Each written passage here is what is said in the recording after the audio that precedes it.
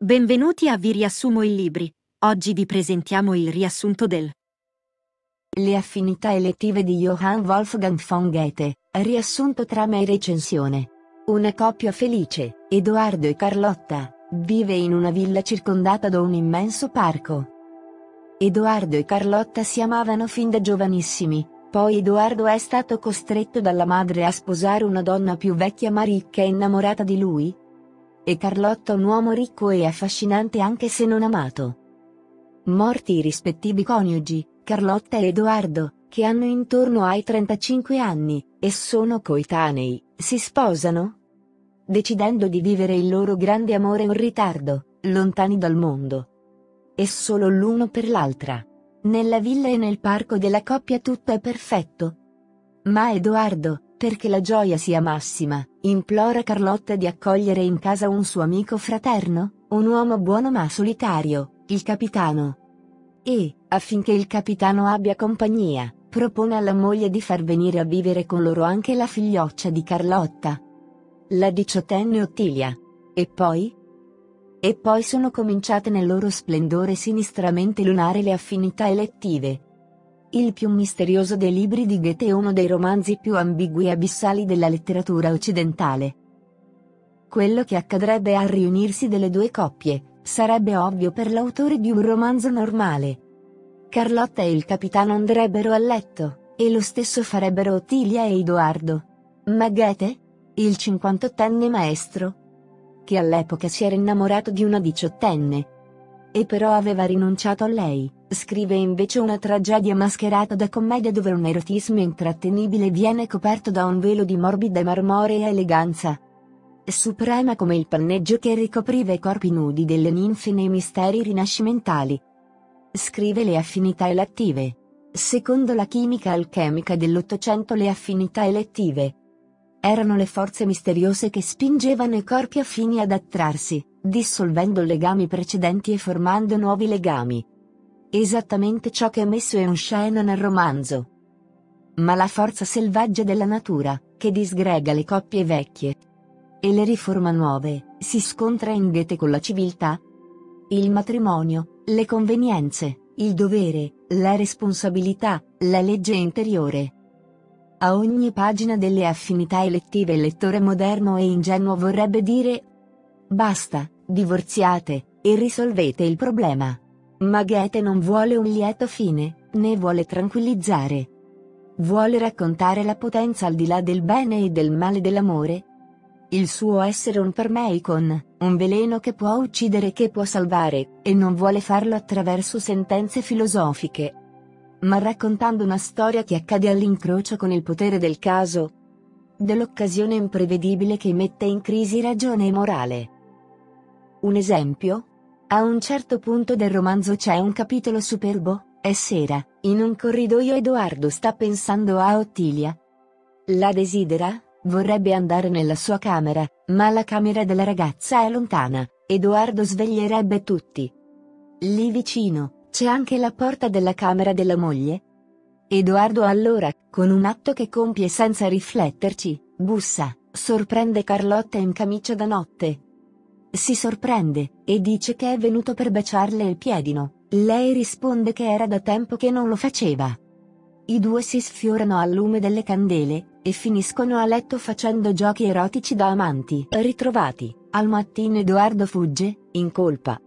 Sente di aver tradito insieme Carlotta e Ottilia. E Carlotta?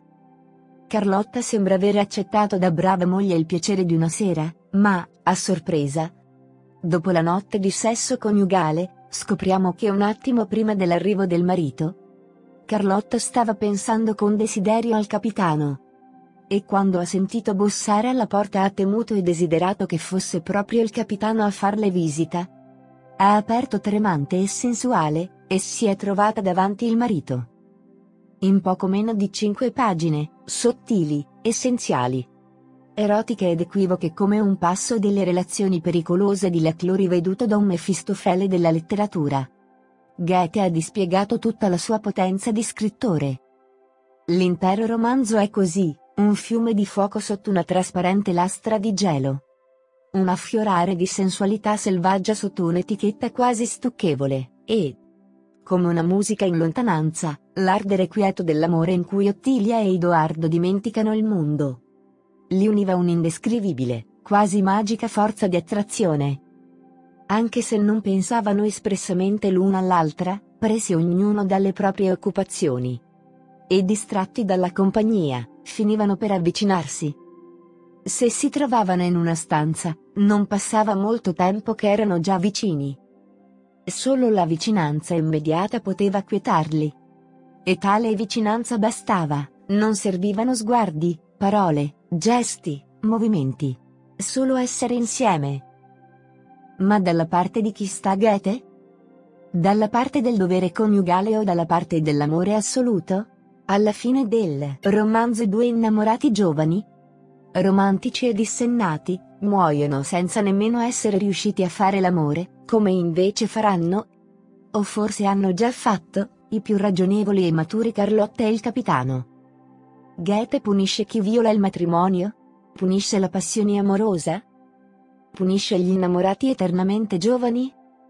Sì, no, chissà, le ultime parole del romanzo dicono che Ottilia, e Edoardo si risveglieranno un giorno per congiungersi in carne e anima, e quel giorno la loro felicità sarà indicibile.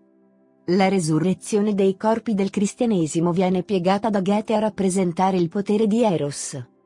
L'amore che trionfa contro la morte e contro la legge. La promessa fatta dal vecchio Goethe a Ottilia è che deve per forza esserci un mondo nel quale l'amore non viene messo a morte dalla società. Dove sarà questo mondo, e quando comincerà? Per il tardo Goethe il dove e il quando non importano più, lui sa che il mondo sperato nella disperazione. Il mondo in cui gli amanti vegliati da angeli affini si uniranno, deve per forza esistere perché esista una vita vera. Non c'è nessuna religione della rinuncia, in Goethe.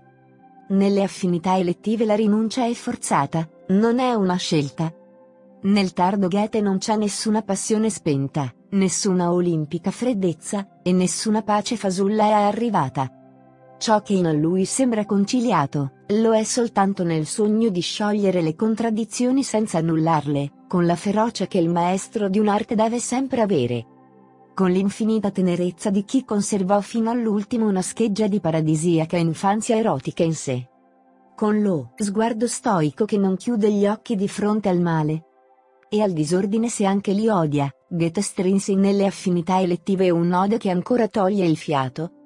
Un sogno che ancora implacabilmente parla dei nostri sogni mancati. Grazie per essere arrivati fin qui, se vi è piaciuto il riassunto del libro. Non dimenticate di lasciarci un like e di commentare la vostra parte preferita.